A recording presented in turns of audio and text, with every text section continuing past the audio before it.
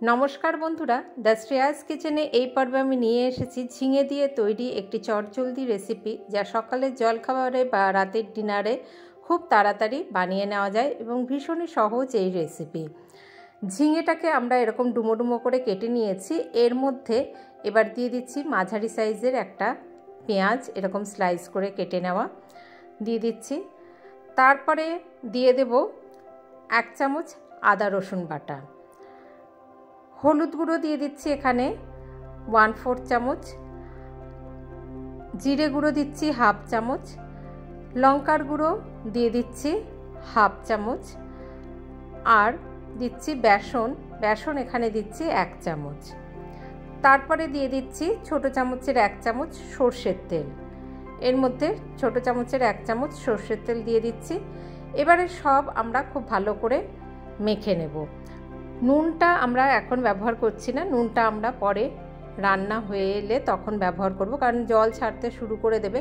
আর ঝিঙেগুলো একটু বেশ শুকনো করেই নিয়েছি। খুব তাড়াতাড়ি হয়ে যায় এমনই একটি রেসিপি দেখুন, সব খুব ভালো করে মেখে নিলাম। আর রান্নাটা আমি করব সর্ষের তেলে। এবার এখানেও কাঁচা সর্ষের তেল একটুখানি দিয়েছি, যা দিয়ে এটা মেখে নিয়েছি। আর কড়াইতে এক চামচ তেল দিয়েছি। ওয়ান টেবিল স্পুন তেল দিয়েছি। তেলটা গরম হওয়ার পরে তাতে হাফ চামচ সাদা জিরে ফোড়নে দিয়ে দিলাম আর একটা শুকনো লঙ্কা দিয়ে দিচ্ছি ফোড়নে। ভীষণই সহজে তৈরি হয়ে যায়। সবসময় মাঝে মনে হয় যে জল খাবারে বা ডিনারে নতুনত্ব কি বানাবো? আবার চটজলদি তৈরিও হয়ে যাবে। এমন একটি রেসিপি হচ্ছে এই রেসিপিটি। এবারে আমরা এই সমস্ত মশলা মেখে রাখা যে ঝিঙে আর পেঁয়াজ আদা, রসুন বাটা দিয়ে মেখে রেখেছি, গুঁড়ো মশলাও রয়েছে। সবে মাখা সমেত, মশলা মাখা সমেত ঝিঙেটাকে আমরা এই তেলের মধ্যে দিয়ে দিলাম। এটাকে চাইলে আপনারা নিরামিষ করে করতে পারেন, চাইলে এখানে আলুও ব্যবহার করতে পারেন। ঝিঙে সিদ্ধ হতে বেশি সময় লাগে না, তাই শুধু ঝিঙে দিয়ে করলে রেসিপিটি তাড়াতাড়ি তৈরি হয়ে যাবে। আমি এরকমই দশ মিনিটের মধ্যে তৈরি হয়ে যায়, এমন একটি রেসিপি শেয়ার করছি। আলু যদি এখানে ব্যবহার করেন, তাহলে আলুগুলো খুব ছোট ছোট করে কেটে দেবেন আর আলুর জন্য একটু সময় লাগবে এটা হতে। আবার নিরামিষ করেও এটাকে রান্না করতে পারেন, তাহলে পেঁয়াজটাকে বাদ দিয়ে তার বদলে আদা, কাঁচা লঙ্কা বাটা একটু দিয়ে দেবেন আর একটু হিং দিয়ে দেবেন, তাহলেই নিরামিষ করেও এটা করা যায়। এবারে খুব ভালো করে আমরা এটাকে তেলের মধ্যে ভেজে নেব। যেহেতু প্রথমে একটুখানি তেল দিয়েছি, সেই জন্য রান্নাটা করবার সময়তেও কিন্তু আমি কম তেলই দিয়েছি। চাইলে আপনারা আরও কম তেল ব্যবহার করতে পারেন।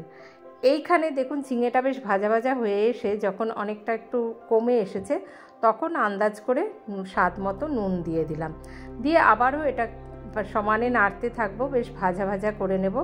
যতক্ষণ না এই পুরো মশলাগুলোর কাঁচা গন্ধ, তারপরে আদা রসুনের একটা কাঁচা গন্ধ আছে, বেসনেরও কাঁচা গন্ধ, সব একসঙ্গে মানে সমস্ত মশলার কাঁচা গন্ধ যতক্ষণ না চলে যাচ্ছে, ততক্ষণ আমরা এটাকে প্রথমে ভালো করে ভেজে নেব। তারপরে এবার লো আছে ঢাকা দিয়ে তিন মিনিট হতে দেব দেব। এই ঝিঙে থেকে জল এমনি বেরিয়ে আসে, তাই তিন মিনিট লো আছে হতে থাকলে ঝিঙে থেকে দেখুন বেশ অনেকটা জল বেরিয়ে এসেছে। এবার এই ঝিঙেগুলো আরও ভালোভাবে সিদ্ধ হয়ে গিয়েছে এবং সমস্ত গুঁড়ো মশলার কাঁচা গন্ধও চলে গিয়েছে। তারপরে আমরা এটা একটু জলটাকে টানিয়ে নেব। সেই মতো একটু এটাকে নাড়াচাড়া করে নিয়ে এই সবজিটি সার্ভ করে দিন। রুটির সাথে, পরোটার সাথে বা লুচির সাথেও কিন্তু খারাপ লাগে না। এখানে আমি সামান্য একটুখানি চিনি দিয়ে দিচ্ছি। হাফ চামচ মতো চিনি দিচ্ছি। আপনারা চাইলে চিনিটা দিতেও পারেন, নাও দিতে পারেন। কারণ রুটি পরোটার সাথে খাওয়ার মতো এই সবজিটা, তাই একটু চিনি দিলে নুন চিনির ব্যালেন্স ঠিক মতো হলে স্বাদটাও ভালো লাগে। আপনারা আমার ফেসবুক পেজ বা ইনস্টাগ্রাম সেখানেও আমায় ভিজিট করতে পারেন। এইভাবে দেখুন, একদম পুরো জলটা টানিয়ে নিলাম। আমাদের এই ঝিঙের রেসিপি ভীষণই তাড়াতাড়ি তৈরি হয়ে যায়, একদম একটু ভাজা ভাজা টাইপের নতুন ধরনের একটি রেসিপি রেসিপিটি ট্রাই করবেন, আশা করি ভালো লাগবে। জলটা যখন পুরো টেনে গেল, একদম শুকনো শুকনো হয়ে গেল, তখন আমরা গ্যাসের আঁচটা বন্ধ করে দিলাম। দিয়ে একটুখানি ঢাকা দিয়ে রেখে দিচ্ছি, তারপরেই এটা আমরা নামিয়ে নেব। এইভাবে রেসিপিটি ট্রাই করবেন, আশা করি ভালো লাগবে। আর আমাকে সাপোর্ট করতে চ্যানেলটিকে সাবস্ক্রাইব করতে ভুলবেন না। দেখুন, কত সহজে, কত তাড়াতাড়ি একটি রেসিপি তৈরি হয়ে গেল।